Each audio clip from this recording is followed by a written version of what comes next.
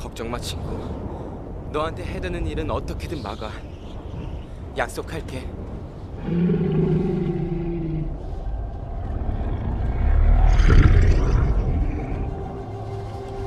어, 너무하시네 아빠 진짜.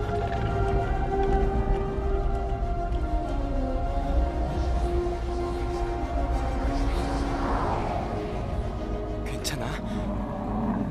천천히 이대로 가자.